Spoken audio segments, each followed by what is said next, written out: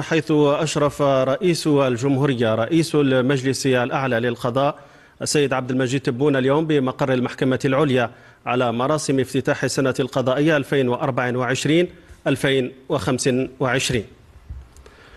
وكان في استقبال السيد رئيس الجمهورية لدى وصوله إلى مقر المحكمة العليا وزير العدل حافظ الأختام لطفي بوجمعة والرئيس الأول للمحكمة العليا طاهر ماموني وأعضاء من المحكمة العليا ومجلس الدولة.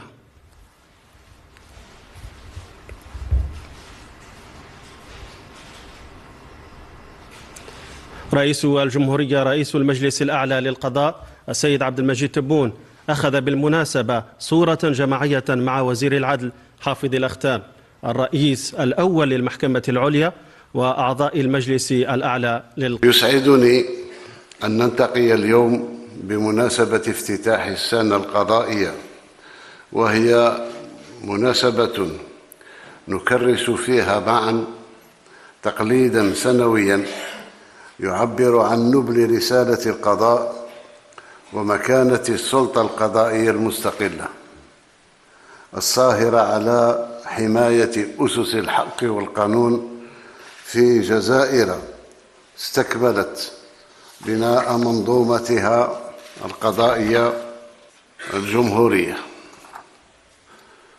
محصنة بثقة الشعب وقوية بالنساء والرجال المخلصين النزهاء ومنهم أنتم السادة القضاة.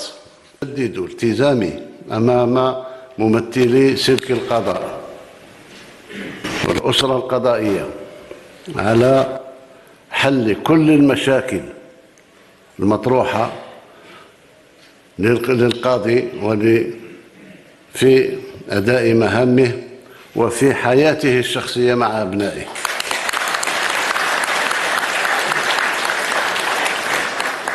ليتفرغ كليا لممارسة مهنته. وأؤكد مرة أخرى أننا سنظل نسير على نفس النهج لتسخير المزيد من الإمكانيات وتوفير كافة الشروط المهنية والاجتماعية للسيدات والسادة القضاة من أجل عدالة مستقلة ونزيهة. بأن في ظرف صعب مرت به البلاد كانت فيه العصابة من خلال أبواقها في الداخل وفي الخارج تسمم الأوضاع تأثيرا على المسيرين النزهاء في هذه البلاد. وصل بهم الحد إلى القول لو تمضي أي وثيقة ستجد نفسك في الحراش.